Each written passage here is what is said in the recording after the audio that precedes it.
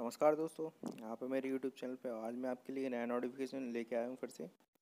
दोस्तों, ये नोटिफिकेशन है रेलवे ने जो एग्ज़ाम कराए हैं एंड एग्ज़ाम कंडक्ट कराए हैं, उसको जो सेंटर बनाए हुए हैं दोस्तों, वो कैंडिडेट के जितने पास हो सके कैंडिडेट के एरिया के जितने पास हो सके, उतने पास दिए हैं।